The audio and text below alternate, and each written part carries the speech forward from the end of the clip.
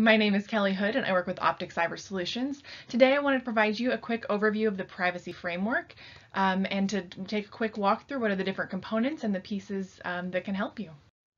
So to, to start off here with what is the privacy framework, what's in it, um, it's broken down into three primary components. We have the core, the profiles, and the tiers. And now if you're familiar with the cybersecurity framework that was released back in 2014, um, or may have watched a previous video we put out on the cybersecurity framework, uh, you'll notice that these are quite familiar because it, it does have the same structure. We have those three same components, and that was created by design because NIST really wanted to make sure that both of these frameworks, while created for different purposes, purposes, you know, one for privacy, one for cybersecurity, um, there's still a lot of overlap and they wanted to make sure that people could use them in parallel as, as they wanted or use them together if that made sense for your organization. But for now, yeah, the privacy framework has three core components that we see here, and now we'll walk through each of them. So the first component is the core.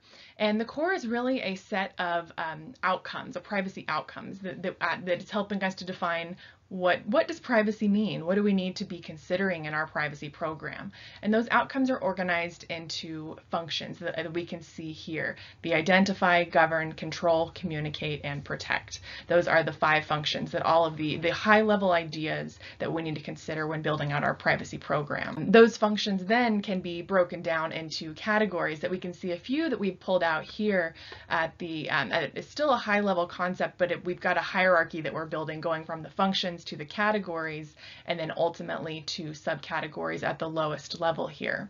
And we can see that even at this lowest level where there's about 100 subcategories, they're, um, they're still not telling you how to do something because they NIST wanted to be uh, not prescriptive, as I mentioned, um, but to give you that guidance to say you need to make sure that for uh, CTDMP4, data elements can be accessed for deletion. But we're not going to tell you how to do that because that's up to your organization and not all companies are the same. So they're telling you, yeah, what are those outcomes? What are those things we need to achieve without telling you how to do that or a specific way that may or may not work for you. Next, we have the tiers. And the tiers we can see here help us understand our privacy risk and communicate that risk across our organization. Now, the implementation tiers that have been defined are broken down into four different tiers or tier or levels um, from partial to risk informed to repeatable and then adaptive at the highest level. Um, so organizations look at tiers in a lot of different ways. You can decide to be a particular tier for your entire privacy program and say we really want to be a tier three and have repeatable processes that we know we can trust and that everybody's aware of. Um, you may decide that a two is appropriate and you just want to be risk informed but maybe you're a small company or you don't have any specific privacy requirements and regulations that you have to meet meet. And so they may not need to be as robust, or you may decide that based on all of your requirements, you really need to be adaptive and, and at that highest level. But that's one of the nice things about the tiers and, and that what kind of sets it, sets it apart from a maturity model where we're often trying to strive to be that highest maturity level. Here, it's, it's not uh, inherent in the tiers that we're trying to be that highest level. And we want to make sure that we're having the conversations to help organizations pick the tier that, that is most suitable for them and that meets their risk tolerance and will help them to manage their risks. And then finally, we have the privacy framework profiles. And profiles are really a way to capture all this information we've been talking about with the, the core, um, defining those outcomes and the tiers defining, you know, how, uh, you know, mature or how sophisticated we want these practices to be to meet our risk tolerance. Um, we, we need a place to put that. And so a lot of times that ends up being a profile and it's a really great way to capture that information. And there's a lot of ways to create a profile. I've seen companies do it as a spreadsheet is a lot lot of times how I like to create it because it helps me to map everything out. Um, I've seen people use graphics or pie charts or different ways to represent basically what's what you're doing today as it relates back to the core. Um, here we can see an example on the screen where we have the core where we that have the five functions laid out um, but the current profiles, we're looking at that and we can see that there are two functions missing. So they currently, it looks like there are, th there are things currently in place for identify, govern, and protect, but they're not currently doing anything for control and communicate.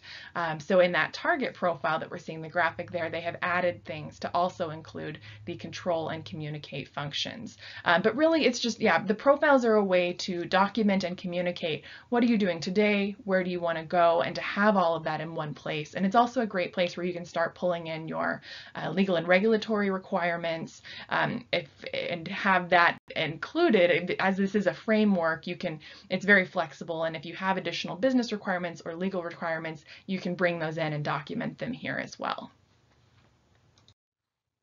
Uh, so all in all, there are several benefits for using the privacy framework. Uh, we talked through those three core components, but I just wanted to summarize here that some of the, the really uh, the key benefits that I see organizations getting out of using a framework like this is that common language. Knowing that we can communicate using the same terms and mean the same things is critical. Um, providing opportunities for collaboration, both internally and externally within your organization, providing a way that we can align those compliance standards through that profile, using the core and mapping all of those requirements, um, a way to, once you have that documented, to demonstrate due care, increase awareness across your supply chain or ecosystem, um, and help you manage cost-effective improvements uh, based on having an understanding, a better understanding maybe of what you have, and what you are doing today and where you might want to improve and where you might have larger gaps, and to uh, ultimately help you to measure improvements across your privacy program by having all of this documented and laid out. So I think there's a lot of really great things that can be gained from using a framework like this. And then finally, I wanted to highlight a few resources and crosswalks that are out there. Um, this is pulled straight from NIST's website, and there's a link at the bottom there, and I'll also link all of these in the in the notes under the video, so you can find a, a quick link there. But um, the community has already done a lot of mappings between the privacy framework and some of these uh, requirements and regulations that are coming out, you know, from the CCPA to GDPR and um, the new standards that are coming out. They're NIST is constantly updating their website as these new alignments or crosswalks are being being created. And so I wanted to point you there.